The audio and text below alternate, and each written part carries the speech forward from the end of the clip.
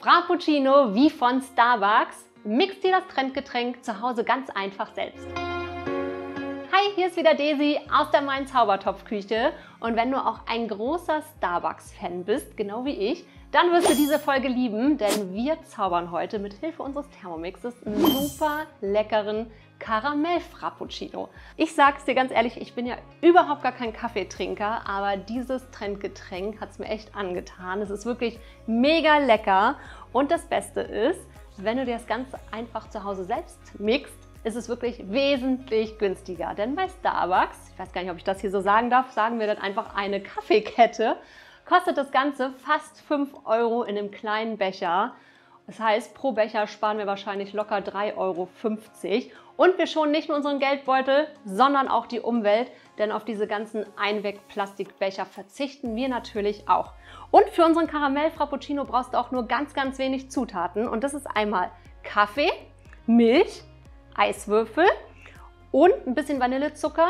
Und dann habe ich noch so eine kleine Geheimzutat, damit das Ganze noch ein bisschen cremiger wird. Das verrate ich dir aber jetzt gleich während der Zubereitung. Und solltest du unseren Kanal noch nicht abonniert haben, mach das auf jeden Fall direkt jetzt. Das Schöne ist, unser Rezept ist so kinderleicht. Du kannst es natürlich nachlesen bei uns im Zaubertopf Club.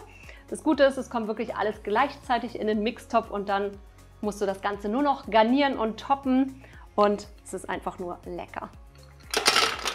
Schreib doch mal in die Kommentare, ob du das Trendgetränk schon mal getrunken hast oder ob du es sogar schon mal selber gemacht hast. Also, Eiswürfel sind schon im Mixtopf. Ich gebe jetzt einmal Milch dazu. Statt Vollmilch kannst du natürlich auch eine Pflanzenmilch nehmen. Dann ist das Ganze auch vegan. Dann habe ich jetzt hier einmal Kaffee, abgekühlten Kaffee. Du kannst natürlich, wenn du das ein bisschen stärker haben möchtest, auch einen Espresso nehmen. Dann allerdings ein bisschen weniger als unsere Menge hier. Also Kaffee kommt auch dazu. Dann kommt selbstgemachter Vanillezucker dazu. Das ist ja immer intensiver. Und jetzt habe ich dir ja gesagt, ich habe so eine kleine Geheimzutat, damit das Ganze noch ein bisschen cremiger wird. Und das ist jetzt hier einfach Johannisbrotkernmehl. Du kannst auch Santan oder Pektin nehmen. Es ist wirklich nur so eine Messerspitze, die du dazugeben musst. Es ist aber auch tatsächlich im Original anscheinend wirklich drin, habe ich zumindest gelesen. Und ähm, wenn du das nicht hast, kannst du das Ganze aber auch einfach weglassen. So, und das Ganze wird jetzt einmal durchgemixt und zwar 30 Sekunden auf Stufe 6 erstmal.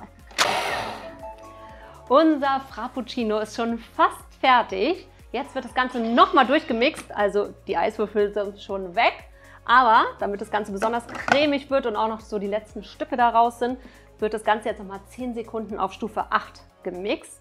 Und dann ist es auch schon fertig. Es geht ja echt super easy. Und so schnell ist es wirklich fertig. Also du siehst, der Aufwand ist wirklich minimal. In der Zeit kannst du noch nicht mal in die Kaffeekette marschieren. Und wie gesagt, günstiger und umweltfreundlicher ist es ja allemal. Ich fülle mir das jetzt hier mal in Becher. Die Menge reicht übrigens für zwei Gläser ungefähr für 350 Milliliter. Boah, das sieht so lecker aus.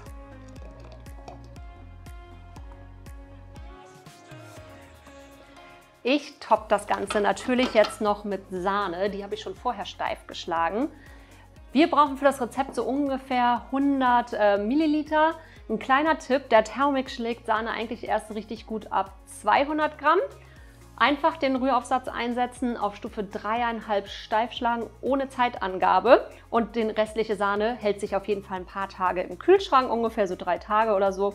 Alternativ geht natürlich auch, wenn es ganz schnell gehen soll. Darf ich das hier sagen? Aber ich mache es zu Hause auch manchmal einfach Sprühsahne nehmen. So, ich toppe das jetzt hier. Und ich bin so begeistert, wie super schnell und einfach das wirklich ist. Und dann kommt natürlich noch eine ordentliche Ladung Karamellsoße darauf. Du kannst das Ganze auch noch mit ein bisschen Schokoladensoße toppen oder mit so ein bisschen Kakaopulver. Also ich kannst dich echt austoben. Boah, guck dir mal an, wie lecker das aussieht. Bei mir darf ordentlich viel drauf, weil ich liebe das. Und ich glaube, jetzt muss ich schnell trinken. Ich hoffe, wir sehen uns in der nächsten Folge wieder. Mach das Rezept unbedingt nach. Schreib mir in die Kommentare, ob dir das Trendgetränk hier auch so lecker schmeckt.